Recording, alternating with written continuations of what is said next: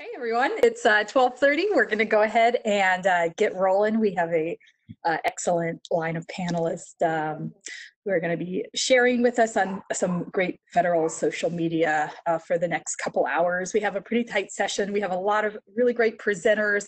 Um, so go ahead and for this session, for this whole virtual session, if you have a question at any point, you can go ahead and direct that to the chat box. And you know, hopefully we'll have some time to get to everyone's questions. If we don't, I've asked the presenters to give out their email addresses so they can follow up. So uh, you can follow up with them um, after this session is over and you can always connect through the list serve as well. Um, just a reminder that we are recording this session. Um, so if you need to pop out or miss anything, don't worry, you can catch up to it later and we'll send out the link to that uh, when it's ready.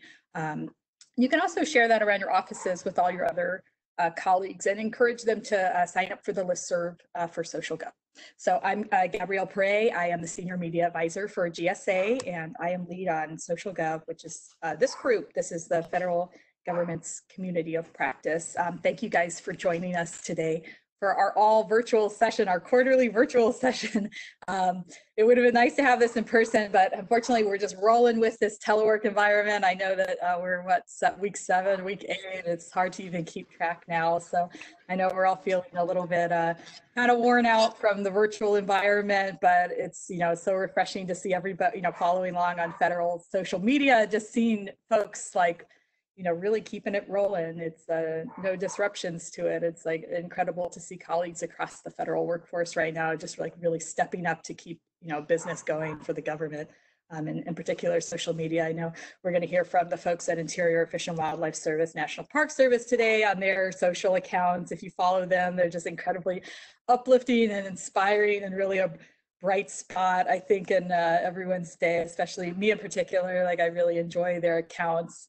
Um, we're also going to be hearing just for a few minutes up front, Matt Harmon from DHS. He's going to be talking to us about the guidelines for opening up America again. He's going to give us a little update. Um, our friends Asha and Katie from uh, the uh, Department of State's Bureau of Educational and Cultural Affairs are going to give us some tips on crisis communications for social media. We're going to be hearing from James Robert on an update on Census 2020 social media and how federal agencies can help out census uh, right now. Um, I'm going to be talking for a few minutes about how I run my internal community of practice at GSA. We have over 100 social media, different satellites accounts, and you know how this has been critical for us in COVID-19 times and crisis communications to get everybody on the same page. Um, and it's been instrumental, I think, for us uh, to keep everybody on brand and message. Uh, so I'll be talking for a few minutes, um, and then we also have uh, Leila and Carolina from the State uh, Department of State's Foreign Service Institute. They're going to be talking about finding an appropriate tone on social media in a crisis. Um, so just another reminder again, if everybody can keep uh, their computers on mute and turn off your cameras if you're not presenting, that just helps us to save a little bandwidth. And I think it makes the um, camera feed a little less choppy. We had over 400 people actually registered today. It looks like we're um, nearing up, pushing up to 200 folks who are already joining us today. That's wonderful. Um, so I'm going to go ahead and tag in Matt Harmon. I see him right there. You want to jump on Matt and give us an update. Hey, how's everybody doing today?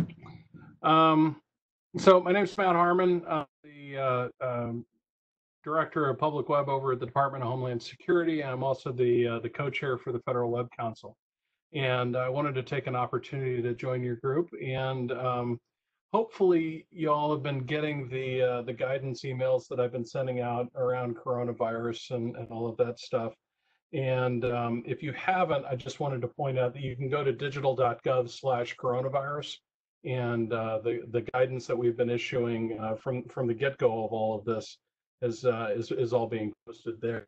The um, most recently, I sent out a message yesterday um, because the White House Coronavirus Task Force asked us to uh, to promote the uh, the new guidelines for opening up America, and um, so that information was was was sent out via email. It'll be up on digital.gov very shortly today, and um, it's it's pretty simple. The gave the URL is whitehouse.gov/slash opening America.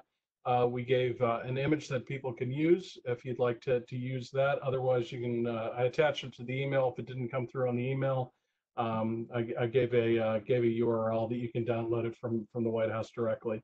Um, but I also wanted to take an opportunity to to reiterate um, and thank everybody for staying in their lane on this and then linking to the, the to the required links and promoting the required links um, uh, pretty much from the get-go of all of this stuff. It's it's really been a uh, it's really been a, a great effort government wide um, and it's um, hey I just saw Ken Bradley show up. I haven't seen Ken in a while. Hi Ken, you doing?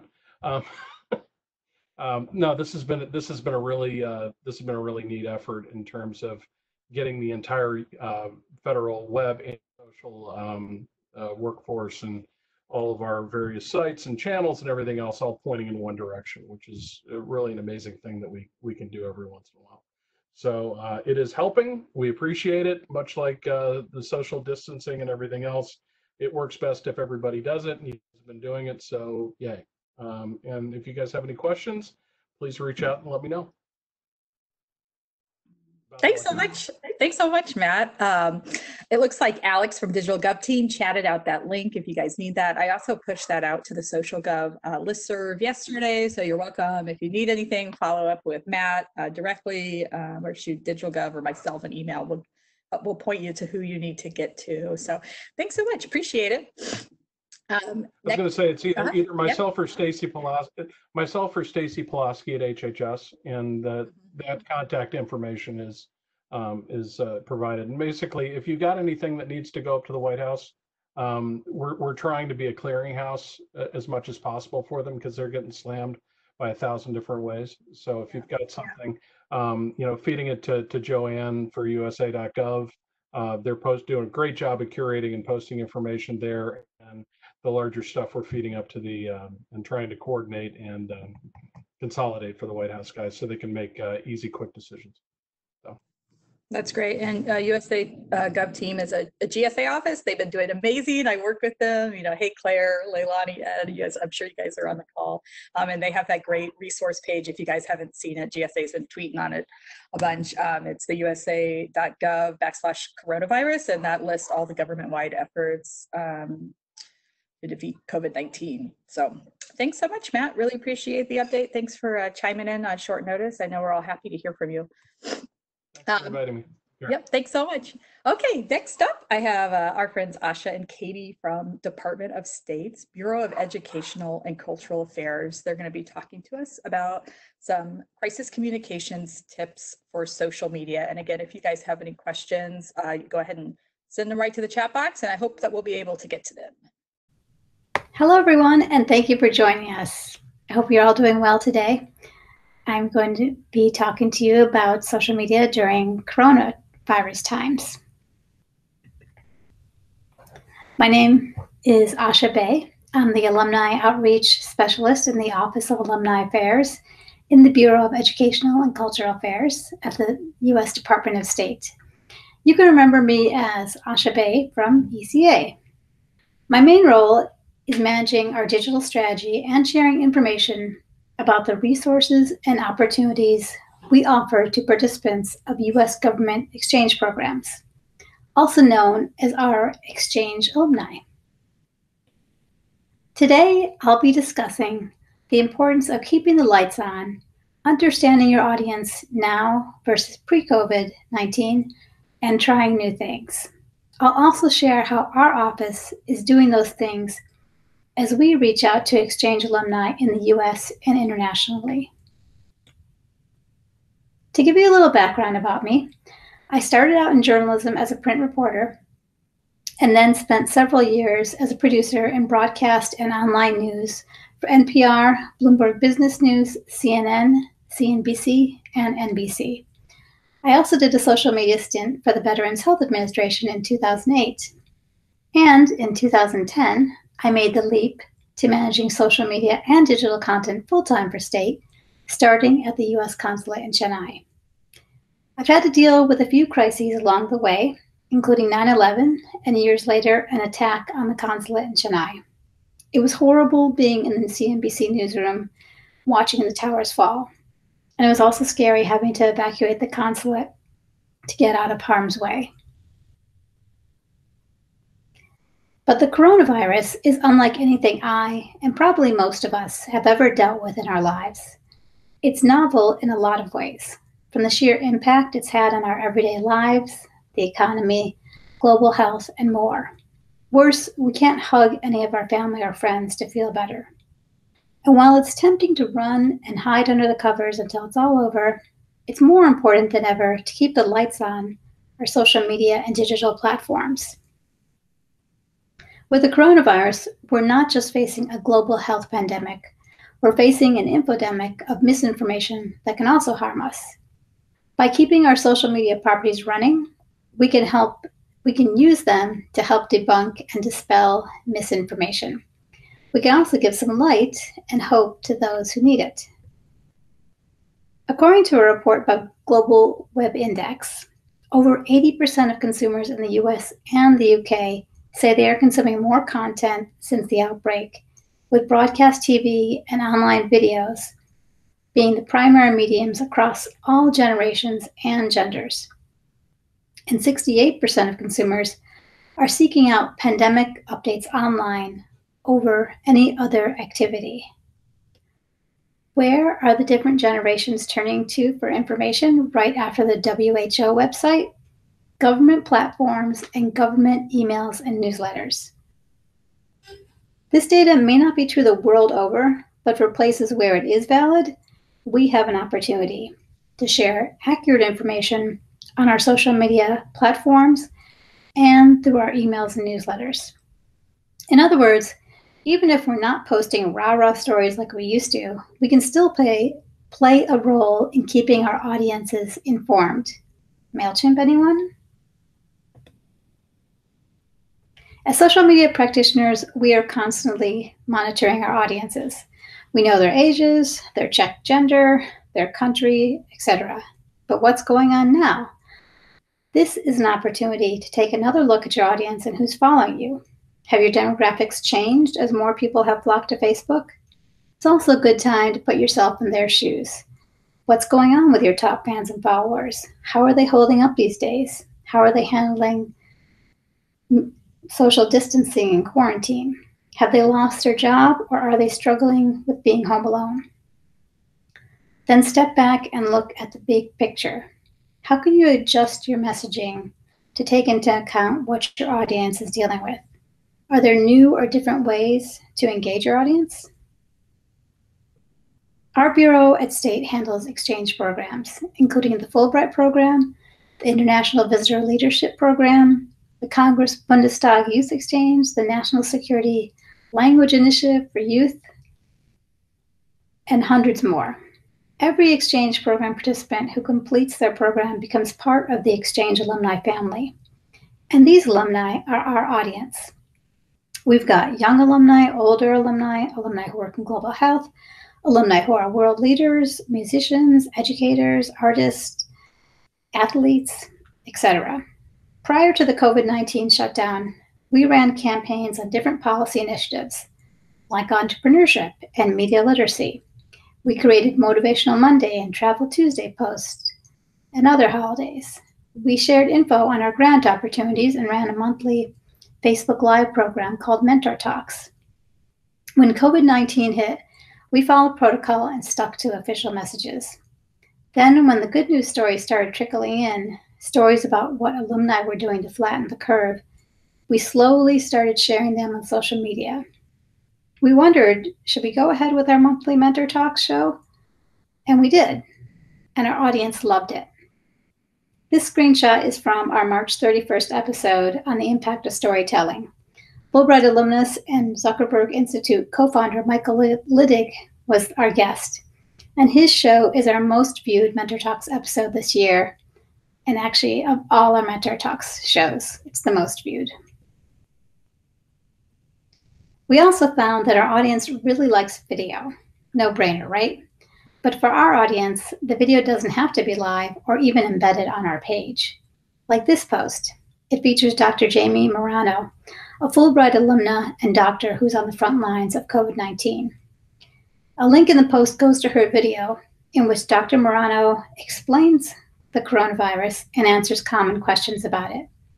Since we've been in lockdown, it's been our most popular post to date, even more popular than Michael's Mentor Talks. Similarly, we did a post about goal setting in times of disruption, which was a link to a Zoom event led by an award winning exchange alumnus named Raj. It was also popular, and we only posted it less than two hours before the event started. Our audience has always loved funding opportunities.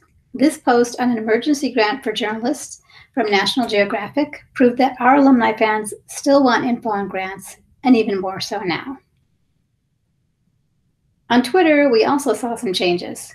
Pre coronavirus, tweets about our live events did well, but they weren't always the top tweet. Now they are. And those good news stories I mentioned earlier, on Twitter, our audience is happy to hear what Exchange alumni are doing to flatten the curve. We really can't tweet, way to go, thank you, and keep up the good work enough. With each tweet, we reach more people and see more engagement than we did before. Why not us? Why not now? So, ladies and gentlemen, this is your fault, and this is SGN. We could stick with what's working and leave it at that. But like John Krasinski, we decided to try something new. It can be scary to try something new, especially in these uncertain times. But we don't know how long this is going to last, so why not make the most of it? First, we created a COVID 19 good news page. We launched it two weeks ago on April 15th, and it's currently one of the top 20 pages for our site.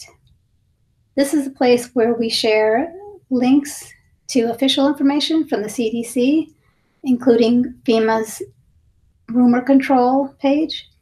And we also share all those good news stories we keep hearing about, or the ones that I keep telling you about. And we're also using this page to promote another initiative that we're working on with LinkedIn, which is to expand our engagement with Exchange alumni on LinkedIn and also connect them better there. And what we did on LinkedIn was we set up a showcase page and also highlighted ways for Exchange alumni to connect with each other. We have over 100 new followers, and our most popular post is this one featuring ECA Assistant Secretary Marie Royce's welcome message.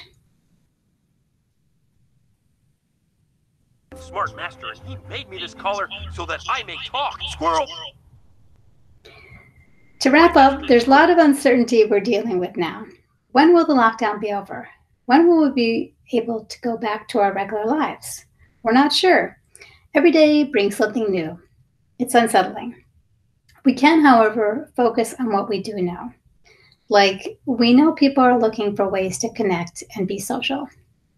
We know that sometimes squirrels or distractions help, help people feel better. We know that things will change at some point, and we know that our, our social media platforms can help us stay connected to our audience and help them connect with each other, which creates opportunities for us and them now and in the future. So keep the lights on, understand your audience now versus before coronavirus or coronavirus. Try new things or not. Do what works for your agency and audience. Thank you. I'm happy to take questions now, or you can email me, Asha Beh at ECA at bayac at state.gov. And now over to Katie Stasa, who handles social media for ECA's Education USA program. So, hello everyone. My name is Katie Stasa. I actually work at the Institute of International Education. We are the cooperating partner um, with ECA. I work on the Education USA program and I manage 10 social media accounts for Education USA. So things are very busy always. um, so I'm going to talk about some of the tips and best practices that I share with our network um, about social media marketing during tumultuous time. So whenever I have, um, well, let me just back up and give a little bit of context about Education USA. Education USA um, promotes US higher education to international students. we offer free services to students. We have offices in over 180 countries, over 420 advising centers, um, where students can, you know, reach out to advisors virtually now and get information about studying in the US. So anytime I start this presentation, I always like to talk about our brand. And I think it's so important, especially during this time, that all of us keep our brand and what it stands for at the forefront of our mind. Um, brand consistency is part of building trust. And when you're placing your educational future in someone else's hands, it's really scary. So that's why presenting Education USA as a reputable, trustworthy brand is vital. So to do that, um, we create a newsletter that is sent out every week. It is called Social Media Digest. We include five posts in there for Monday through Friday, a Facebook post, Twitter post, Instagram, and then some accompanying graphics for it. Um, we, two of the graphics are in English language. Two of the graphics have no text on them, so advisors are able to download them and put them into local language if they wish. We also include a few Instagram stories. Um, a few of our favorites have been talking about different majors that are offered in the US, and also we'd have a word of the day. Um, and so I always tell my advisors that it can feel very strange showing up on social media um, during a global pandemic. I mean, people are going through extreme anxiety and devastation, illness, but amid all of this chaos, we still need to run. And that takes awareness and attention from all social media marketers. So I always tell them, even though you receive the social media digest every Friday, practice social listening. If something doesn't feel right for your audience or your advisors, don't post it. It's better to not post than to post something offensive. Also in Social Media Digest, um, we include a list of COVID-19 content where um, you're able to click on these hyperlinks. It will take you to um, verified pages that you can easily repost stuff from. We also curate content. So many places right now are offering um, free resources for people affected by COVID. So we always include those resources for our advisors to share with their students. Additionally, um, with every single graphic that I create in Canva, I remove the text and then upload it to a shared box folder for our entire network to have access to. So it's graphics that are in our branded colors and have our logo that they're easily able to go in there, download, and put in, um, you know, whatever they have going on, whether that be a virtual webinar or a training institute or whatever they want to publicize. Um, and as Asha had mentioned in her presentation, social media um, is more important than ever. As people around the world are adjusting to this new normal, we're scrambling to pivot campaigns, adjust content calendars, and come up with new creative ideas to market our services. Um, and staying connected is now more important than ever with people and businesses relying on social media to stay in touch with friends, consume the news, and be entertained.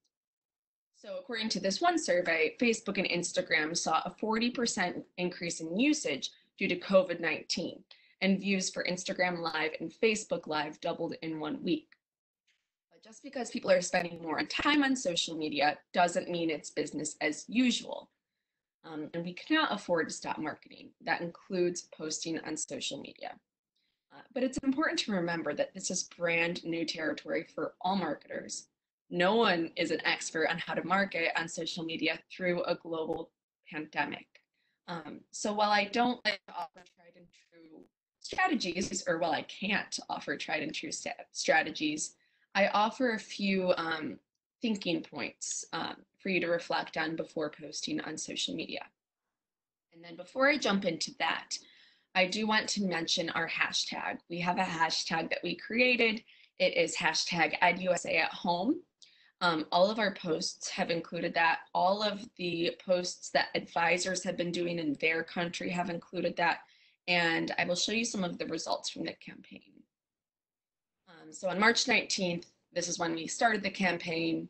As of April 21st, over 2,600 social media posts were tagged with it. Um, we have been asking advisors around the world to hold up signs that say hashtag EdUSA at home. It's been really neat to see how creative they're getting. We've gotten our students to hold up signs. Um, so if this is something that's possible for your agency, I urge you to create a hashtag for whatever that might be, include like at home and invite people to share their pictures with you because we all know that user generated content is gold. So here are some of the reflection points before social or uh, sharing stuff on social media that I like to think about. Um, listen and acknowledge. Ignoring COVID-19 or pretending like everything is normal can come across as very tone deaf. So simply just acknowledging the current climate really does make a difference in humanizing your brand. And then in addition to that, it's important to know your brand and keep posting. So don't do what other people are doing and copy that. Understand the role that your organization plays in people's lives. How has that changed? And then how can you help be useful during that crisis? You don't have to mention COVID-19 explicitly in all of your content, um, do take into consideration the tone of your captions and how it could be interpreted by people facing a reality different from yours. Um, acknowledge that right now is kind of a weird time to be promoting international education. And also acknowledge that not everyone is in a position to plan for college overseas right now. It shows that you're being empathetic and you're thinking about all of your followers, not just the ones that who can afford to study in the US. Make sure that you're providing authentic value. Um, you know, address social distancing. How is your team stepping up and doing your part during this time? And then also be a source of information. This ties back into, you know, what our brand stands for. We're trustworthy, we're comprehensive, we're sharing updates all the time about, you know, the ACT test got moved or the SAT was changed. Um, be a source of information for your followers. And then these are just some basic social media ideas that I share with our advisors. Um, let people in behind the scenes. So what does a day in the life of an Education USA advisor look like right now? Or what does your work life look like right now? Educate on what you do, what motivates you to do it, what you're passionate about. Why do you love the US higher education system? Make, create some feel-good posts. Um, now is a great time to refine and hone your skills and take trainings. Canva offers free design classes, um, which I encourage everyone to take. They're very quick and easy. Revisit old content that can still serve your audience. Um, you can get double the engagement on posts that performed well in the past. Also, right now is a great time to refresh your online presence. Do you have the proper keywords in there to help your SEO? Um, do all of your links work? Is everything up to date?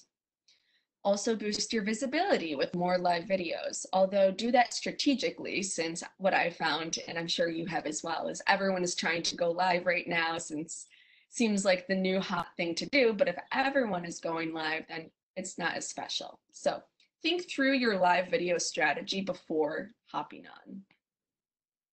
I also encourage you to try out some challenges. Um, this or that is very popular, especially with college age students or pre-college age students. Um, sometimes we do like a thankful Friday. We'll have them list five things that they're thankful for and tag EdUSA.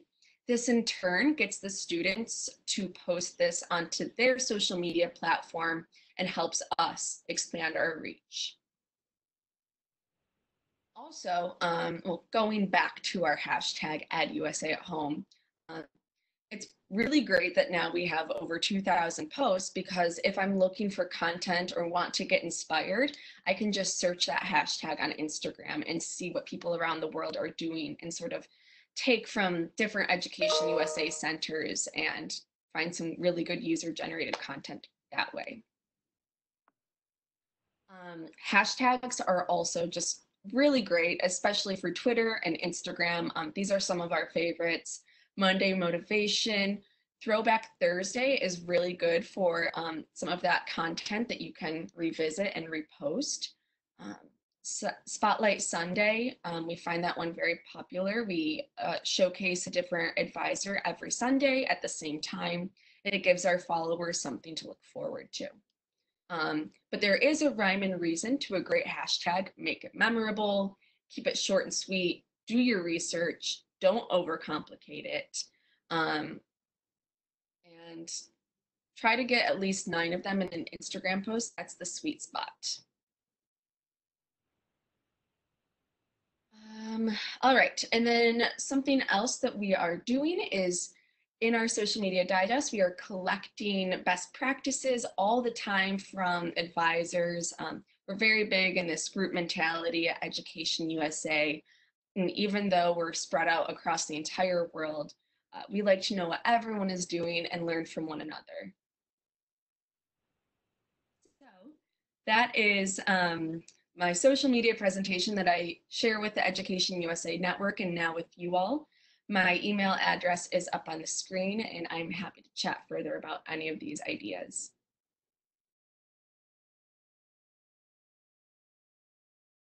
Um, so uh, I'm going to just talk for a few minutes about our little community of practice um, that we have at GSA. Um, I lead that. We have about uh, a uh, hundred-ish accounts and uh, run by 140-ish uh, different people all across the agency. And there's a very uh, uh, diverse experience among the people who run these accounts. Some people do social media professionally. Um, some people inherited these accounts and have never done the, the Twitter before. So uh, we have a very diverse group at GSA and we're very supportive and um, we want to engage all of the users to get all of our social media great. Uh, when I came into my role about two years ago, uh, we uh, to the Office of Strategic Communications, um, you know, it was a little bit of a question for us, uh, you know, um, what accounts did we have out there and, um, you know, who was running them. So, uh, you know, it was kind of a big mystery. Um, and if we have any folks from NARA on the line right now, you may be thinking like, oh, hey, this is all sounding familiar. Uh, I touched base with the social team at NARA and you know, they were so kind to talk me through how they manage all their accounts. They also have hundreds of different social media accounts across all the different platforms. Um, so they were very kind to give me an overview of their community of practice, which inspired ours at GSA. Um, so some of the issues that we had, um, you know, before we did this that we were trying to solve is, you know, we didn't know what accounts were out there. Uh, we didn't know, um, you know, folks didn't know what the process was to start up a new account. So people in the agency would just start a new account and they were surprised to learn there was an approval process for that. So uh, that was kind of a concern for us. Um, some of our accounts were posting things that are off brand, they aren't mission focused, they're using silly, wacky gifts that kind of didn't fit with content or GSA, really our brand um, some of them weren't following our agency policy. You know, there were some issues uh, getting everybody, um, you know, on the same page. And uh, you know, my my concern too always was if we had a, a crisis situation, um, implementing our crisis comms process would be difficult if we didn't know all the accounts out there and we didn't know who was actually the POC on all of them. Um, um, so real quick, how we put our community of practice together. Um, I think the first step was really determining where the buck stops on social media. We, uh, for GSA, that was the Office of Strategic Communications. We issue our agency policy on social media, and we approve all social media channels. Um, so for, uh, for so for us, for GSA, it was appropriate um, for OSC, that's my team, to um, you know start this group, and we are the sponsor of our community of practice, and I am the lead on that. I um, if you don't know me already, um, I manage also the five flagship social media accounts for GSA um, on LinkedIn, Twitter, Facebook, and Instagram. Um, my second step on this was to conduct a social media audit. I pulled all of our numbers. I did manual searches through all the different platforms. I reached out to different program offices and I put together a big list. And I also, um, I'll plug the digital registry on here too, if you guys haven't already updated um, your accounts for your agency, you know, please take five minutes and go in and if you don't know what that is, reach out to me. I'm happy to put you in contact with the folks at DigitalGov um, that can help you get your account set up on the digital registry. So that's a good place to start as well, to start identifying what accounts are out there and to get POCs um, for each of them. And I, uh, so I started a community of practice. We meet once a month at GSA. Um, we have a virtual, it's, you know, we do like a hangouts where we have like, it's all virtual. But I usually, not now because of COVID-19, but we have um, usually a in-person room that people can come and like meet and greet if they're actually in the building um, that day. So we meet once a month and the topics I usually discuss, I go over like the big flagship wins. I talk about our metrics and analytics, um, mostly to socialize that there's a lot of number. We had some folks who started um, in the community practice, not even knowing that Twitter had analytics. So this was like big news and they were really excited to learn that they had some measure of knowing if their content was successful or not.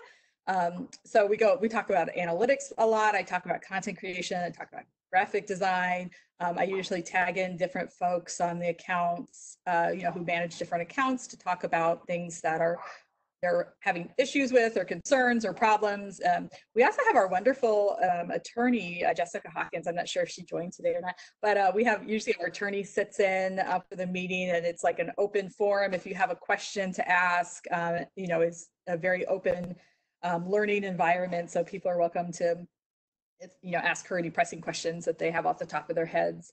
Um, and I think the key to running a community of practice is to have somebody who is the point person and somebody who owns this. So I set up all the meetings every month. I set our agenda. It's like I have, you know, I'm, I am the lead. Somebody really needs to be the lead, I think, to make that successful. Um, and the other thing that really makes our group uh, run well is having a listserv. Um, you know, GS, GSA sponsors a lot of different listservs. They sponsor, sponsor this listserv, the social gov listserv. Um, so in a crisis, uh, you know, or even day to day, it's like very easy to push out a message to all of our accounts. Um, it's just as easy as typing in our email address um, to get a, a, an email out uh, to the whole group.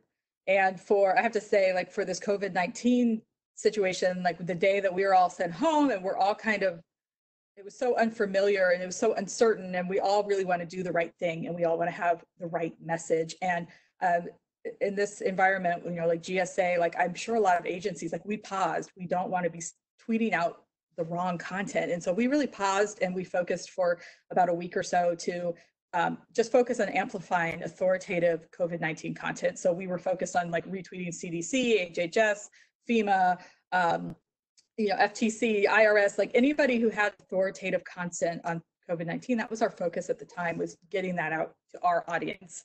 Um, and we kind of you know, I was able to message out to every single POC on our, uh, you know, in our internal community, um, you know, hey, everybody stop for a second and um, everybody snap too. Like it was incredible to see a whole team, a diverse team of people who work all across the agency, across all different programs. Like everybody stopped and everybody was on the same page. Like this was really cool to do. Um, and for, you know, the first few weeks, it's like I was feel, you know, everybody was, uh, yeah, I was kind of an open POC for this, like you know, ask me anything. If you have any content you need a second set of eyes on, if you want to run something, it's like ping it to me. I'm available to do a gut check. You know, if you have COVID-19, we had some specific COVID-19 content, like I, I will run that for you as fast as humanly possible to get that out. And it was incredible to see a response I was getting. I was just so impressed with the GSA team, you know, across the whole agency that, you know, people were really on the same page. Like it was great. So I think you know, we do the Eagle Horizon exercise every year. That's the, an, the annual continuity exercise for the whole federal government. And last year, um, we had done the exercise of, you know, if there was a big natural disaster, I forget what the exercise was exactly, but there was a big disaster and we have to implement our crisis comms plan. And part of that was getting social media all on the same page. And so this year, in a real life scenario of COVID-19 pandemic, it's like we snapped that and we were all together at once. And like everybody, knew, and you know, it was important for them to know, like they know me personally, they get emails from me all the time.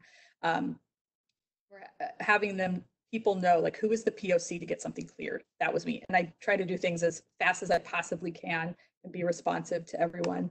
Um, so I think, uh, you know, it was great. I encourage you if you haven't, here's my other site. Yeah, uh, this really gets our, got our account. I'm really speaking mostly for the COVID-19 environment. This was in incredible to have everybody, you know, on the same page. Um, but this really over the last, uh, it's been like a year and a half since we've done this. Um, it's gotten all of our accounts uh, posting on brand. Like they all look professional. There's no, no more wacky gifs or like crazy emojis or like there was one account we had that kind of tweeted like it always reminded me of like spam marketing emails and now it's like everybody's so professional i love it and um yeah the- all of our accounts kind of have a feel and they know and they're they look very professional. Um and like i was saying the all all of our account roles know where they can turn when they have questions. If they need something run through through our office of strategic communications they i'm that person they know to email me or chat me or call me like whenever they have something. Um, and this really helped to to socialize our agency policy on media and social media too. Like people understand when they sh- can tweet something, what is an endorsement, for example. I, I think that was kind of a new concept to a lot of folks. You know, when who, when they can tag people, like what types of accounts they can tag.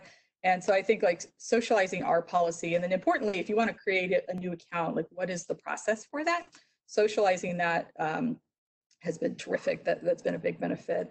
Um, and it's connected people in the group across all of our business lines. So some folks may not have known each other because somebody works in real estate. GSA does a ton of different things, but somebody may have worked in real estate and somebody may have worked in acquisition. So these folks, maybe their paths haven't crossed before, but since they both run social media accounts, it's like, I think it forms really nice relationships across our business lines. Um, and like I was talking about it made our made our crisis communications measures like happen in a second. Like it was really easy to push the button and make that happen. Um, so if you have any questions for me like i'm happy to always chat more about um, you know our little group uh, you know how we how we run and how i keep our meetings going um, every month. Or if you ever want to sit in on you probably can. I think that'd be fine. You can shoot me an email here and i'm happy to talk a little bit more about it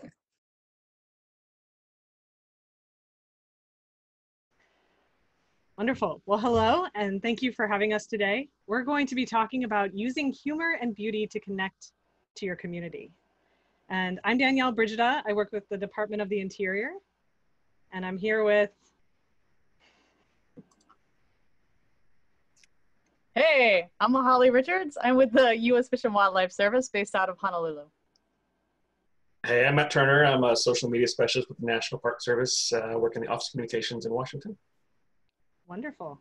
Well, we're really excited to be here, and thanks for humoring me and letting me just throw that to you. um, so, we we all work in different bureaus, but um, for the U.S. Department of the Interior, and if you aren't familiar with our mission, we manage America's vast natural and cultural resources. Uh, There are a number of bureaus that work within Interior, like the National Park Service and the U.S. Fish and Wildlife Service, but we also have USGS and, and the Bureau of Land Management. And so we represent a lot of different mindsets and, and work across the country. Um, but we all share in a similar goal for our social media, and it's to engage, educate, and be a direct connection for people. Largely so they care about how we're spending their tax dollars, but also so they're engaged with our mission. And social media is a great way for us to do that.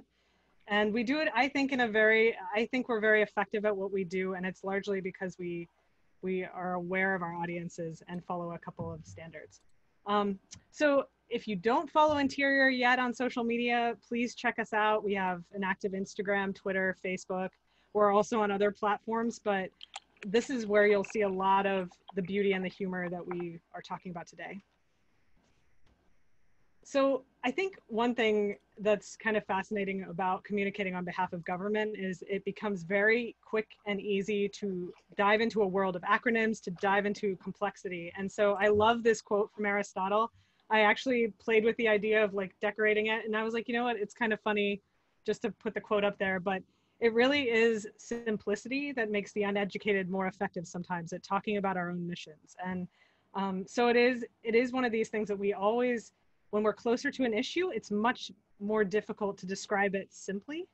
And I think that's something that we all kind of face. You know, when I'm talking about interior, to me, there are so many layers involved with our mission that it becomes incredibly difficult for me to say, but what we put on social media is just pretty landscapes.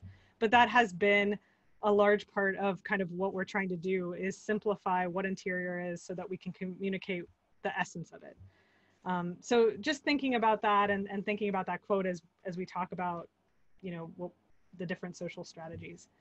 So the way, the, the kind of approach we take, and, and this goes down to just how we approach community, how we all are doing it um, the similarities I see are we all listen and identify the needs of the community, and then we'll create content around what we identify. So, um, and that can show up in many different ways. And then we engage with them, kind of receive that feedback, measure our efforts, and the cycle begins again. So it really allows us, social media is not just a publishing platform to most of our channels. Um, and that's something that I'm very passionate about. It is a way to listen. And it's something that if you're not using social media to listen, then please don't try humor. Please don't, please don't just, if, if you're not using social media to really connect with people and to build community, um, you know, you're, you're kind of missing out on a huge part of this. So, um, so the way interior kind of works is we, we do a lot of different listening and at least on our, on our national channels, you know, we'll look at different hashtags, keywords, whether it's of, you know, our, our current secretary or, um, but we do always follow US Interior. And so we're, we're looking for community photos. We're looking to kind of enrich um, the entire conversation around our mission. And largely the monitoring is where I learn a lot about what people want and kind of where their their focus is and where there's an opportunity for us. And so um, a huge a huge thing that I always focus on is the audience. You know, I'm not trying to bore them. I'm not trying to interrupt them. I do like to mix up our content so that it's not just fluff constantly, and um, and that is something that it's a little bit more of an art than I think people realize. Um, but we're very audience focused. We're not trying to um, just barrage them with our own press releases. We're really trying to work in what we what we see that they want. Um, and at, at Interior, you know, on our channels, we focus a lot with the travel community. We're really looking at a lot of um, the, the lands we manage.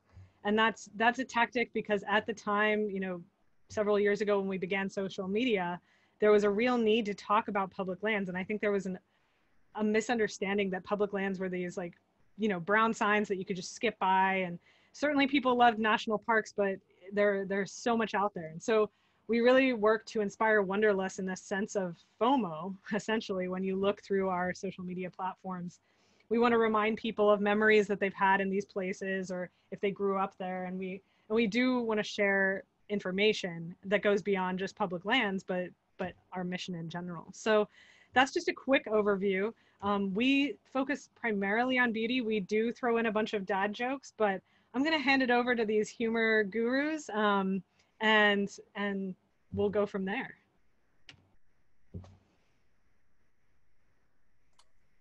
Hi. Uh, so as I mentioned earlier, my name is Holly Richards. Uh, I work for external affairs for the U.S. Fish and Wildlife Service, and I'm based out of Honolulu. Uh, and my job really um, is to help share the incredible mission of what the Fish and Wildlife Service does using digital platforms. Um, U.S. Fish and Wildlife Service is, um, I think, probably the coolest agency that you might never have heard of.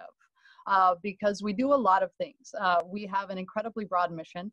Uh, we are responsible for uh, protecting endangered species. That's, that's our bag. We manage migratory birds and wetlands. We work to restore fisheries across the country. Uh, we're responsible for conserving and restoring wildlife habitat uh, across the country. Uh, we combat wildlife trafficking internationally, uh, and we manage the National Wildlife Refuge System.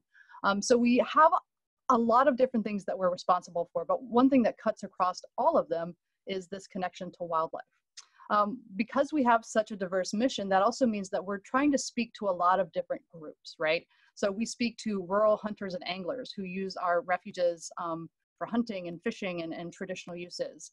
Uh, there's urban birders and conservationists. There's endangered species biologists um, and conservationists, private landowners who are in need of permits, companies that are in need of permits. We have to speak to a lot of very what sometimes appear to be divergent constituencies. Um, and one of the things that um, has worked for us and has been a, a, primary strategy is that on our, our social media platforms, um, we, we find the thing that cuts across all of those groups, and it's a love of beauty, humor, and wildlife.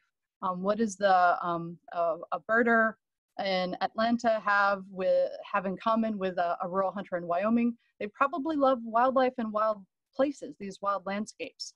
Um, and so that's that's one of the things that we try to focus on as we're um, as we're speaking to these groups.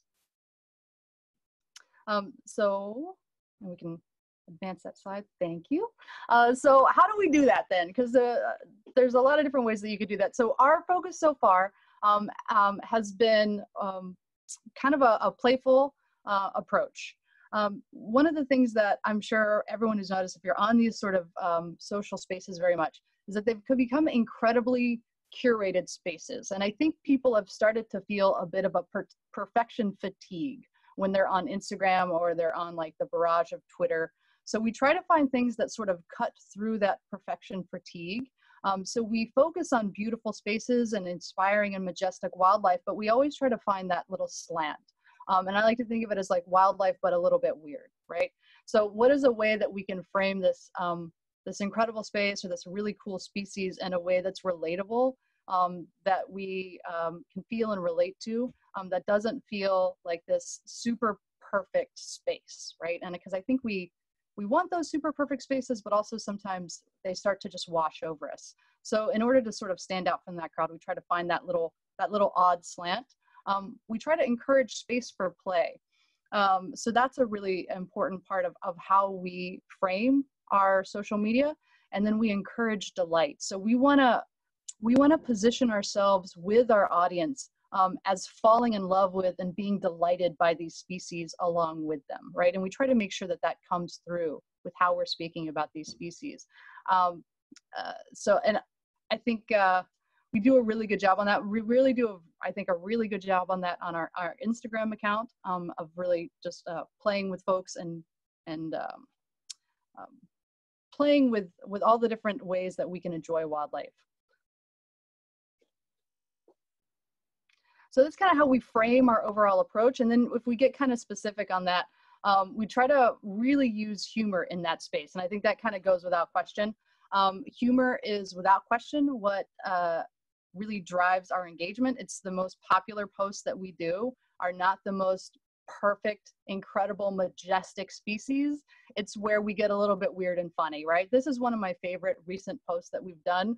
Um, it's it's an odd mashup of uh, an owl and an otter, I think. Um, and it's it's asking people to ID the the question, and it's it's a it's a sort of play on the, the social media trend of wrong answers only. So if you've been on Twitter much or Instagram, it's sort of a, a, running joke on those platforms that you know you you throw something at your audience and you ask them to give you wrong answers only and it's just a way to encourage playful delight. But this was a, a way that we took our own slant on that.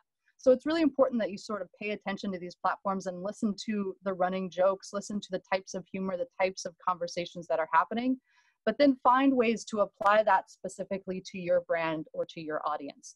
So for us, this was how we took sort of a, a larger conversation, a larger joke that was cutting across these different platforms, and we applied it to our specific um, our brand, which is sort of like weird wildlife. And this, so this worked on all those different levels. You, you notice it, it's kind of odd.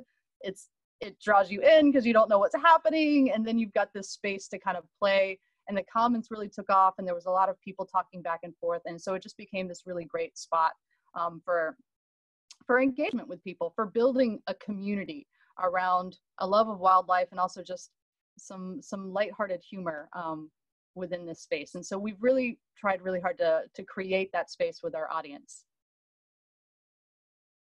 Um, we also really try to focus on um, engaging uh, people to send us stuff, right? And so some of the things that we've done that have been really um, effective, and again, this has been mostly on our, our Instagram account, has been um, uh, asking people to to play with things like drawing, right? So we'll post up a, a drawing prompt, or um, we'll ask people to tag us in different games that we're doing. And of course, everyone is doing this right now. This is really common, especially during the pan COVID pandemic. Everyone's sort of looking for ways to have fun and playfulness, and so this has been really effective for us. People love to see. Um, people love to see big accounts engaging with them. They love to see and share their own artwork or their own thoughts or their own poetry um, asking them to share their favorite wildlife books. We want to ask them to engage with us and then we share that back. And one of the biggest ways that it's a really simple way is just even commenting back on those, on their answers and then sharing them back um, out on our account. Um, but again, with the really important part of this is, is finding ways to, to apply that to your specific brand. So for us, it's all about wildlife. It's about using these prompts to introduce them to maybe species they've never heard of or places they've never heard of. So we'll have, say, the strawberry hermit crab uh, was a drawing prompt, and also some of our Hawaiian forest birds were drawing prompts. And then we use that to sort of introduce them to these species that they might never see in, in real life, or maybe if they come out to Hawaii, they can see them. But it's a space to engage in that sort of play around these, these cool species. Um, and then I think the, the final thing that we like to think of when we're looking at how we how we build this community, this audience, you know, we want to engage in play, we try to keep it lighthearted and weird, but we want to meet their needs. And I think this is one that's easy to forget, right? Um, especially in, in government agencies, it's really important for us. We have things that we need to tell our audiences. We have legislation and regulatory issues and stuff we want to tell people about, right? Um, but one of the things that I think is most important is remembering that um, we also need to be providing a service, right? We are the U.S. Fish and Wildlife Service. So how can we be of service to our audience as well that's still in keeping with our brand? I think this uh, post here was actually from our Facebook post, our, our Facebook account, and I think it's a really great example of thinking about our audience first and how we can uniquely meet their needs. And it was just a really simple idea. Hey, do you have a cool wildlife photo? You don't know what it is. And I like who doesn't have photos from a vacation or a trip or a walk in the park where you see something, you're like, I don't know what this is. You snap a picture and then maybe you forget about it or you try to find out what it is and it just sort of languishes on your phone. We all have those images. And this was a space to be like, hey, you got one of those? We're the wildlife agency. Send them to us. We'll help you ID them. It really took off. And it was just such a simple way to think about what our audience might be needing from us and who they need us to be and meeting that need in a way that built community and built trust and built a relationship with the people that we're interacting with. And I think what Danielle said was really important, and I know that what Matt's about to talk is the same way, is that it's so, so important when you're engaging in these spaces that you remember that these are real people on the other side of the screen. You want to meet their needs, you want to engage with them um, as humans, and remember to speak to them as humans and respond to them, and all of those things that make for a good relationship in person are what we can bring to our social media as we're building communities, right? Meeting needs, listening to people, relating to them, being responsive, engaging in, in play, sharing ideas. These are the things that we try to do on our social spaces and then do it around our brand, which is uh, the people that care for wildlife. And that's what is uniting all of those folks that we're talking with online, is this desire to care for and care for our special species and these special places. Um, and we can do that together.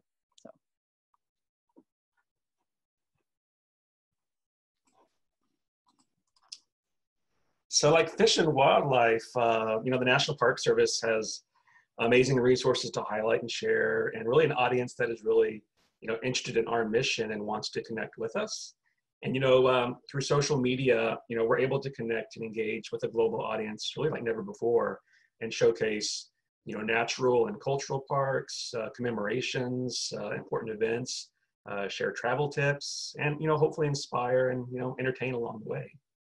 And uh, with social media, you know, our challenge is certainly kind of holding a fine line though, because we're we're educating and engaging people as we welcome them to these places.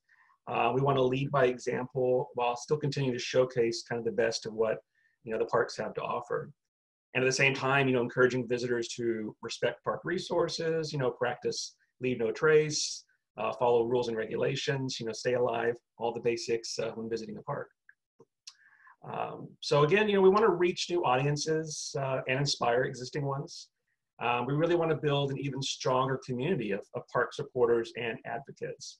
And you know, the National Park Service, it has a long, rich history. We manage uh, iconic places, and we know that there's already kind of a built-in audience of, of park lovers, but we also want to engage, you know, all generations and continue to, to showcase all that the service preserves and interprets.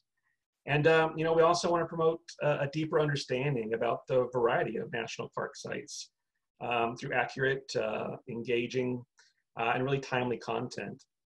You know, a lot of people kind of get hung up on the, the 62 national parks, and you know, we all love Yellowstone and the Grand Canyon, but we also want to highlight, you know, stories from, you know, Salem Maritime or you know the recreational opportunities and, and big cat studies at Santa Monica Mountains.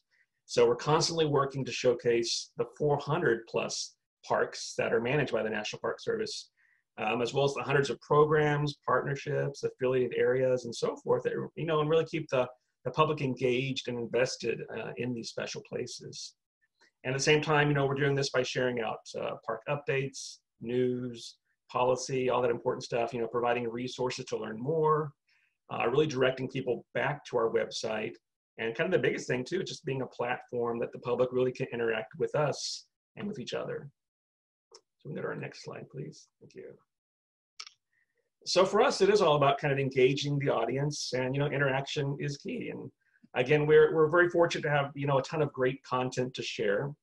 Uh, but we found a lot of positive growth and engagement by packaging that content uh, with some personality, with some humor, you know, trying to make connections with the world around us. And, you know, that might be unexpected for a government agency uh, for many people. Um, one example is kind of our uh, Safety with a Smile campaign or kind of theme, a kind of a combination of a policy and uh, safety messages, guidelines, kind of folded in with something more entertaining and, and uh, kind of a more lighthearted way. And if we can go to our next slide, actually. Some examples there. So example here is our, our wildlife uh, petting chart. Um, you know, every year people like to test the boundaries of their own survival and try to interact a bit too closely with wildlife. Uh, we pushed this out last summer after kind of a string of wildlife and encounters, mainly bison encounters in parks, just as another way of kind of saying the same thing that is already posted on websites, on signage and visitor centers and brochures uh, about respecting wildlife and kind of staying a proper safe distance away and you know packaging that message in a more you know lighthearted way. Uh, the petting chart, you know, basically shows there is no place, uh, safe place to pet a wild animal. You know, and this had massive engagement, was picked up by a lot of major news organizations who themselves are maybe a bit surprised that the Park Service would take this kind of tone, but uh, they also jumped on it and shared it widely. And in the end, you know, it became a another way to you know kind of push out a message that we continue to push out, but in a different tone.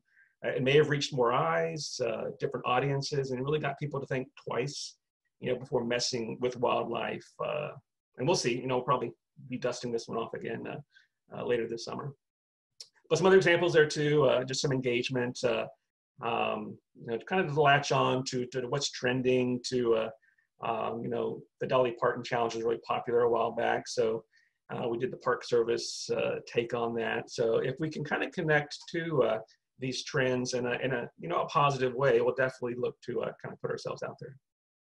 Our next slide, please. Um, along with that safety with a smile, we also do a lot of uh, kind of edutainment, so that educate and entertain kind of combination. You know, we often combine more straightforward facts and content, and again, packaging kind of more that entertaining, uh, lighthearted way. And these posts do tend to have uh, the most engagement. And, you know, we're trying to make these posts, uh, you know, shareable content uh, that can really appeal to a, wider audience and hopefully, you know, reach uh, a greater audience. And I'd like to think, you know, we kind of set up shop at the intersection of, of nature, of pop culture, and humor. Uh, sometimes it's lonely there, but for the most part, you know, uh, the general public is willing to come with us on that journey. And, you know, they get the reference, they get the pun, the subtle nod, and they really can kind of appreciate the post. And, you know, certainly as a, a government agency uh, and a proud, you know, 100 plus year old organization, we do still walk that fine line though. You know, we don't want to be funny just to be funny but really use it as a means of you know sharing and engaging and you know we're certainly conscious of what we do share uh, what we're pulling from what we're referencing and always aim to be kind of respectful of the content and the resources and um, especially now you know with the current situation you know we still infuse humor and some personality some more lighthearted content into our messaging uh, while still striving to be you know sincere and aware of you know the world uh, around us and you know, the humor and the, the lighthearted pose that we do use in a way are meant kind of as an escape, as something positive for visitors to really connect with, even in trying times or, you know, in the current situation where people can't physically get to a park as easily. Uh, but they can still, you know, visit virtually, uh, see these amazing places, and hopefully, you know, they're planning their trips, uh, you know, for a future visit. But again, uh, just a few more examples in there of, you know, educating and entertaining or that kind of edutainment.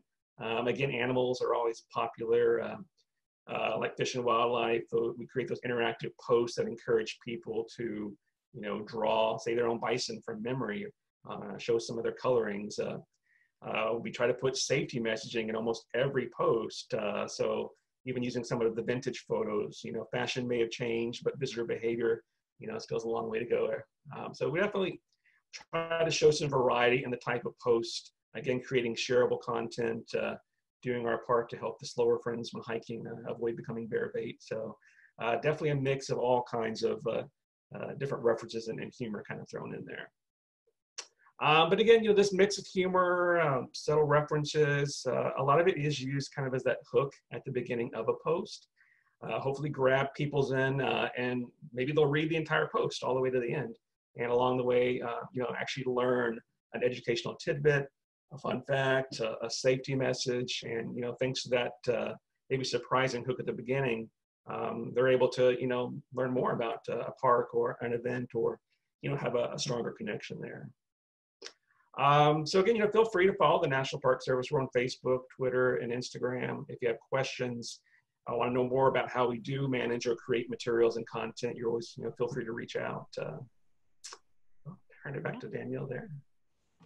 Thank you, Matt and Holly. I I feel like one thing that we we all kind of have in sharing is um, when you get people las- laughing, you get them listening. And I think that that's something that you guys have really kind of figured out for your audiences, and uh, you just do a fantastic job. So both uh, all the teams involved and all the all the um, all the work that's done on social for for you guys is so fantastic. And what I what I love about kind of our social media community because it's you know it's broader, it's all those agencies that we listed on the first page. Um, I love it when we can work together and when we can kind of lift each other up. And so um, I use this example because Fat Bear Week was a fun thing that Katmai National Park and Preserve was doing just on its own for a while, and then Park Service was lifting it up, and we were lifting it up, and um, we just we get to work together on some of these things that are quite fun and informative. And i think that edutainment mindset is something that's so important because when we're having a good time on social and we're also learning together it's just a more enjoyable place to be. And i i see government in a wonderful way. We have a luxury often to to just be there for education for enjoyment. You know we're not trying to fundraise. We're not trying to do certain things. So there's a real um, interesting place there that we can explore together. And it definitely needs to be mindful of the times and that's when it comes back to listening i think that's a huge piece of it. Um, so yeah we got to work together on fat bear week and i think that was um, a really great example of how we took that content and we expounded on it so that it was even more informational. And that's kind of what we're always trying to do is kind of build out you know once we've hooked people in with humor how do we kind of provide them with good content. One thing to know is, you know, while great humor and um, beauty are are wonderful ways to connect to community, it's always great to double check things with other people and finding those sources of people who are going to give you honest feedback around your posts. It's very crucial. I can tell you, um, you know, it's it's one of these things where sometimes sarcasm doesn't fall well, or sometimes the the tone just comes off um, not as much as not in the way you'd want it to. Um, and so it's always great to have another person to check in. And, you know, regardless of what you're doing, it just helps to have people you can benchmark and kind of check your work with. Um, so before you post, check it with somebody else. After you post, be ready to engage because, like these guys have said, the engagement's really the gold. Um, and unfortunately, it feels like that's always the first thing that goes, even, you know, in my own work commenting back on other comments i think is an art form in and of itself and it's something that i would love to you know um, to kind of spend more time doing. But having that active commenting policy is a great helpful thing to have and i think most of our agents most government agencies have one. Um, and yeah just knowing when to get more involved and really gaining the wisdom from your community. You know I, I cannot stress enough how frequently we will learn about new trends or um, or just issues that people have or questions they have just through um, through our community. So, and with that, I'm just gonna let my dog bark it out. Perfect. All right. Well, I am officially here. I'm James M. Roberts. I'm the uh, branch chief for the promotions branch within the Center for New Media and Promotion at the U.S. Census Bureau. And I'm here to talk with you guys about the 2020 census. All right, so I'll introduce you guys to my team, some of which are on the call. I'm James. I am the branch chief. Uh, Yolanda Bird is the deputy chief in the branch, along with Amaya Alston, Anthony Richards, Peggy Williams, and Kyle Malloy, and Isaac Adams. And we make up the Census Bureau's social media team. So let's dive into the 2020 census campaign and talk about some of the highlights of that. Talk about some of the highlights that we've done so far in this campaign. There's a lot going on still, so in the future, we would love to come back and talk about the campaign in depth. So we'll start off with the creation of a social media hub on 2020census.gov for aggregation of shareable content, including the 2020 Census Pledge. And the pledge is for people to pledge to complete the census and to let their neighbors, friends, and families also know about the 2020 census so everyone is counted in the country. We also established the Census Bureau's first 24 7 customer care strategy. We provide assistance through social care on our social media channels in English and in Spanish. Right now, it is 24 7. We also developed the first chatbot for the agency. We've had multiple phases for this chatbot, and currently we have a chatbot built for Facebook Messenger, and we have one built for Twitter. The chatbot will answer routine FAQs, provide census customer support, and answer other topics that are programmed into the chatbot. We've also developed an extensive social listening program to help guide campaign operations and decisions, combat rumors and misinformation, and to optimize content creation for owned and paid social media.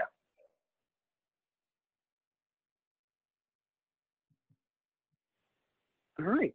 We've also produced hundreds, and I mean hundreds, of evergreen and timely assets for the different campaign phases to support paid and owned social media strategies.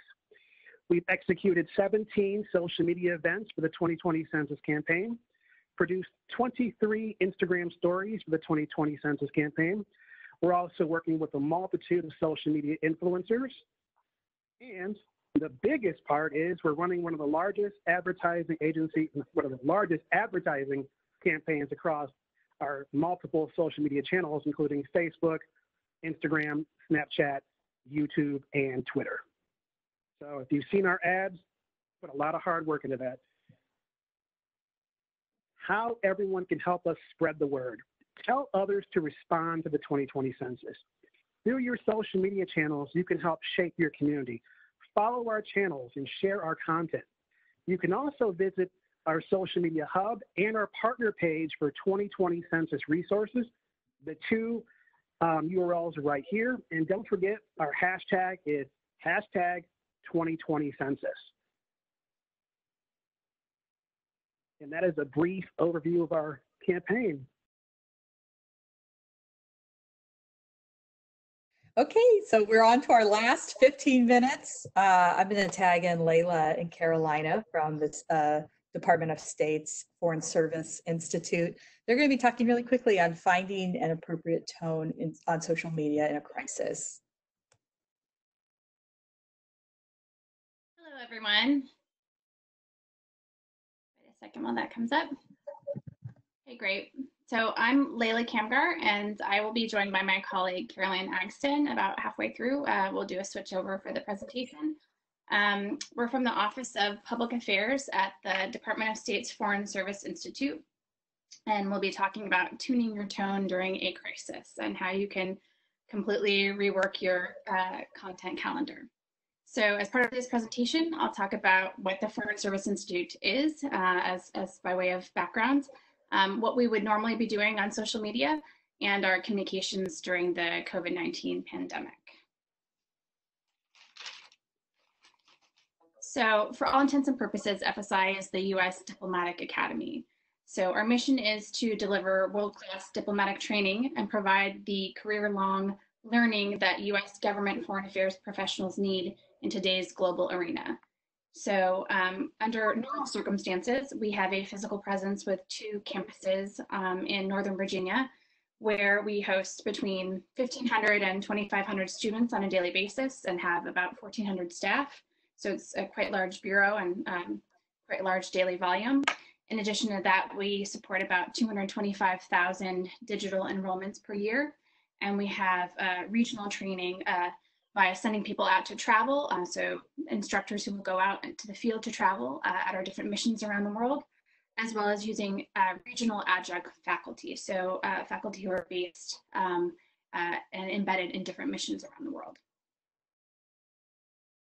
Next slide, yeah. Um, in terms of platforms that we have, we have a Twitter account a LinkedIn page, and we manage the state.gov portion of um, the, the website that is related to the Foreign Service Institute.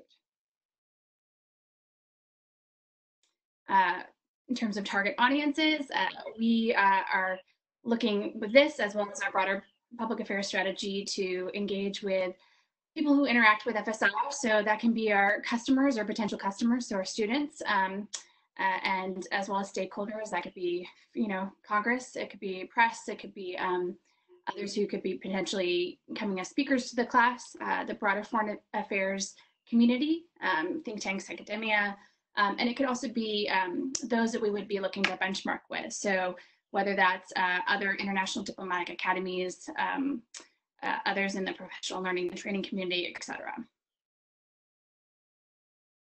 So these are a couple examples of what our, our social would normally look like. So some of it would be spotlights on our training. So this is an example of when um, we had some of our trainers go out to our embassy in Zagreb to uh, facilitate a crisis management training exercise. We also would highlight uh, some of our VIP visitors who are coming uh, to our campus in person. So for example, when we had a congressman come. and large scale programs and events. Um, so this is this is an example of a post related to our orientation training. And um, this is a, a, a, major activity there where when they get their flags, uh, when they find out where they're going for their first assignment overseas as a foreign service officer or specialist, they get a flag. And so, so that's, that's what that's representing.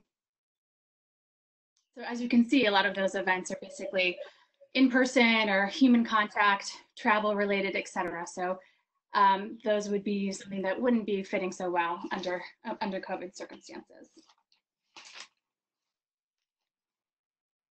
So um, as the coronavirus spread overseas, uh, we, to saw, we started to see an effect on our target audiences um, and what they cared about. And so as of late February, we made a concerted effort to start assessing and tracking and monitoring um, what was happening with our audiences. So um, both from the different stakeholders and that we followed. Um, so how are they reacting um, to uh, the spread of the virus? Um, what were they saying? How are they using their own accounts to talk about this? And how are they calibrating their message? Um, and then monitoring um, the activity that was happening on our pages. And if we can just go ahead one slide. So here's an example of um, monitoring our audiences. So as early as late February, we were seeing some comments, for example, on our LinkedIn page about this, we had a post on collaborative learning. Um, and even on that, something that was a you know seemingly unrelated topic, we had someone talking about how it was especially important to have that foundation during when there were global issues happening like COVID.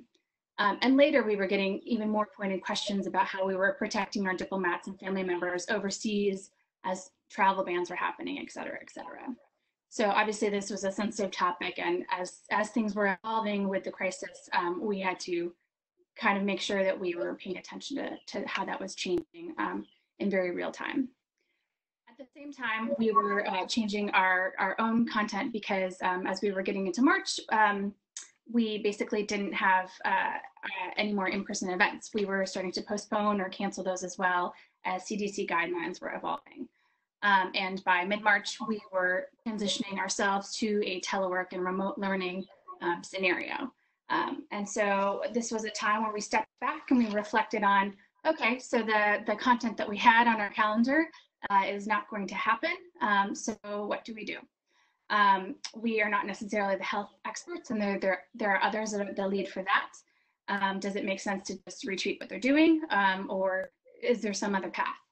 Um, and what we decided to do is to reflect on how we could contribute based on what we were hearing that our audiences needed. So this was a moment when we had a large shift and transition of our, our customer base and as well as all of our stakeholders. Um, and there was a lot of anxiety uh, related to going to remote learning, remote training, telework, um, as well as just what was happening at that time in the world. Um, and uh, and so we also reflected on okay, so what do people look to FSI for, um, and where are areas of expertise? So rather than trying to fit into some mold that we didn't fit into, where could we add value? And so um, it just so happens that one of the areas that we provide training in is resilience, for example. And so related to that, we decided, okay, well, let's start with that. We have these experts on resilience. So let's talk to them about how we can collaborate and um, do content that is going to be useful in this moment. And um, I will turn it over to my colleague Caroline to talk about how we did that. And then from there, we um, sort of built on that to build out other pieces of content that would be true to the voice um, in this moment of in line with our FSI brand um, and our mission, and um, but also playing to our areas of expertise. Over to you. All right, thank you, Leila. So as she mentioned, um, the first phase of our you know restarting the posting was all about resilience, and so we're calling this our resilience phase. Um, so we tapped into our experts, A, to see if they had content already re readily available that we could help quickly package and disseminate on, so on social. We also worked with them to create new content for the moment specific um, about the telework situation um, or about um, you know COVID-19 and what was going on in the world. So here's just an example um, of a GIF that we did with the director of the resilience program. Um, and so we helped repackage and reformat a lot of um, content this way. And so I'll go through a couple of different examples. So this countdown um, about how to take care of yourself every day by simple resilience practices, this got a lot of attention. It was retweeted by the State Department spokesperson and a number of embassies. Um, so we realized that the resilience resources that often had um, concrete steps were the ones that performed better. Um, and so again, this content is consistent with our previous messaging about showcasing FSI as a world-class diplomatic training center, um, but it's also showing awareness and attention to the current crisis, right? So we weren't ignoring that this crisis is going on, um, but instead we were trying to match up FSI's expertise to our audience needs. In addition to Twitter, um, we were also posting on LinkedIn. So this is an example, um, again, from the director of the resilience program about keeping a, a gratitude journal. Um, so this performed very well. Again, it was a concrete and tangible idea about how to um, exercise resilience during this period. So throughout all of this, um, as we began posting, we were gauging audience reactions. So we were looking specifically at um, engagement rates, you know, retweeting, sharing, and specifically comments. So this is these are a couple of examples from the post that I just shared about the gratitude journal. You know, so we can see here people are saying, um, you know, thanks for posting. This info comes just in time. Thank you, FSI. Um, so this was really helpful to see that we were hitting our mark in the way that we thought we were. And for all of these posts, um, we were driving people back to our main page on state.gov. So this is where we host some of the longer form articles that the resilience trainers have written specific for the COVID-19 moment and how to exercise resilience. Um, this gets a lot of traffic as it's filed under the main Department of State's COVID-19 resource page. Um, so we get a lot of traffic on this page. And so once we realized that we were getting a lot of really positive feedback, we took our content ideas to the next level with this campaign called FSI at Home.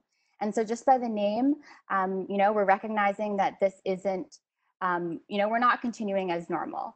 Um, you know, practically our entire bureau has moved to virtual work. Um, so when thinking about this campaign, we wanted to understand how FSI could uniquely contribute to people's lives during this period. Um, again, how is FSI going to be useful during this crisis, um, which uh, Leila has discussed.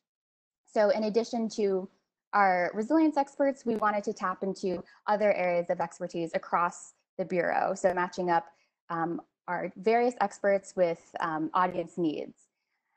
Um, so again, as the Foreign Affairs uh, Diplomatic Training Academy, we were hoping to be that new outlet for people to learn something. So whether um, you're home alone and looking for something to do, or whether you have kids and you're trying to help fill up their time with activities. So these were some of the things that we were hearing from our main audiences at our Bureau, as well as um, more broadly into the community. So I'll go through a couple of examples of what this looks like. So this um, is a short 60 second um, video, or I guess um, two minute video from our um, Khmer language and Cambodian, and Cambodian culture instructor. Um, so she's just introducing Khmer greetings. So again, we're not necessarily mentioning COVID-19 in all of our content. Um, we're in, instead taking into consideration our tone and our captions. Um, here's another example. Um, for this one, we tapped into the expertise of um, FSI's and the State Department's diplomatic historians. So they went back into their archives, they dug up correspondence from their research that shows how past, uh, how past um, infectious diseases have affected the conduct of diplomacy over time. Um, so we published these recently to tap into World Malaria Day and World Immunization Week. And again, we're also showing how our trainers are getting creative with their remote trainings. So these are a couple of additional examples um, of pieces that we have in train or are working on. And so again, we're really trying to farm out um, to experts across the entire Bureau. So we're tapping into the Leadership and Management School at FSI to discuss the importance of leadership during a crisis. Um, we have tutorials coming from our IT trainers on ways to um, conduct remote learning um, and remote training sessions. And again, resilience, historical um, tidbits, and language instructor videos. And so now I will turn it back over to my colleague Leila as we go over some takeaways um, and actionable steps that maybe you could do at your agency or your bureau. Thanks, Caroline. So um, first off, I think reflecting on what's worked so far and what we continue to do is um, really giving yourself a little bit of time to um, reflect on the change that's happening and to be able to brainstorm about how you're matching um, your brand, your voice, your overall objectives, um, and you know what people come to you for uh, with what you can put out um, as as a situation is fluidly evolving. Um, and so in this case, we we said, okay, um, if these are the needs that we're hearing, um, what kind of areas of expertise do we have, and who can we reach out to internally to potentially collaborate to to deliver on content pieces that would that would um, achieve those needs. And so we have a whole master list, and you know we're not even halfway through um, when it comes to to uh, reaching out to those folks about those different types of things that Caroline mentioned, from everyone from our Office of the Historian to our resilience trainers, our um, our uh, language experts, IT trainers, et cetera, et cetera. Um, but it really started with this big brainstorm about, okay, if these are the needs that we're hearing from people um, and from the audiences based on that listening and monitoring exercise internally and through social, um, then then you know here's the whole brainstorm, and then let's have follow up conversations about what's actually realistic and and what we could potentially do, and and, make into action. Um, and then secondly, uh, it's really crucial to have buy-in from your bureau leadership and um, as necessary, higher up leadership as well. Um, and in, in, this case, we were lucky to have both. Um, although I will say that that didn't necessarily come automatically. It wasn't an initial pitch and a done sort of thing.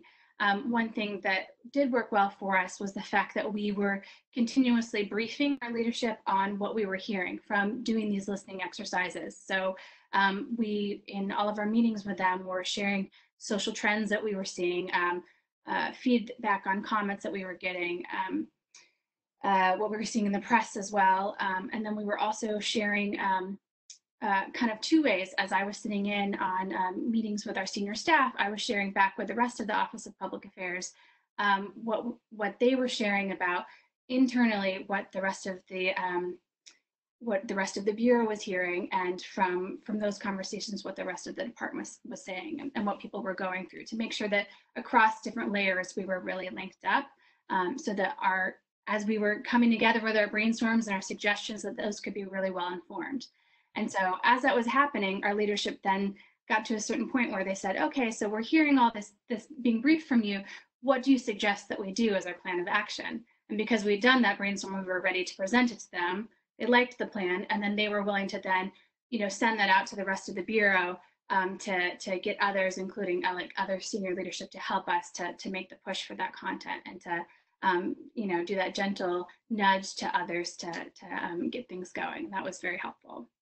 Um, and, and then beyond that, um, I think uh, is tapping into connections across the bureau and the organization that you already have. So, um, you know, we definitely played into connections that we had um, uh, within our own bureau uh, in terms of like innovative collaborators that we've worked with in the past um, on a different topic to go back to them to say, hey, you sort of get things when it comes to a public affairs, social media context. Um, what about this idea and kind of pitching it? And so they have been really helpful in, um, for example, one of our IT collaborators has kind of helped to gather others when it comes to um, creating like a suite of content um, that we're hoping to, to push out about um, how you would use different types of technology tools um, when you're working or training remotely. So I, I, think those sorts of things are really helpful as well as um, tapping into to what you have across the organization um, and, and, what, what is established there and what you can help to grow through utilizing these um, unique moments.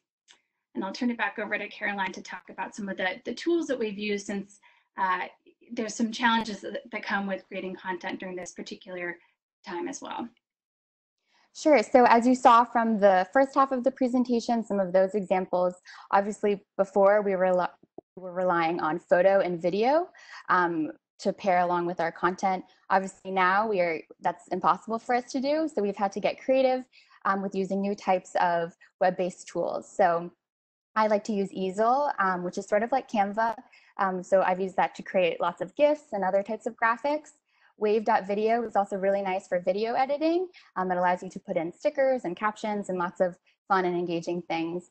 Um, and then also Camtasia for screen recording has been very helpful. Um, so again, this is sort of just, you know, trying to transition and adapt to the current moment and not being able to take photo or video in person. And then of course, throughout all of this, um, you know, as the final step, we've been analyzing what works to make sure that we're filling that niche and filling that void as we think we are and that we hope we are. Um, so just a couple of quick stats. Um, for LinkedIn, our page views have been up by 26% for this FSI at home period um, as compared to the previous 30 or 35 days. Um, we've had 18% more unique visitors um, and 40% more button clicks. And for Twitter, we've also had um, an exponential growth in comments and replies to us, as well as increased followers within the past 30 days. And so that wraps up our presentation. Um, you can find our contact information on the slide, um, as well as our social channels and how to find us on state.gov. Um, please follow us if you're interested in you know, seeing the type of content that we're putting out.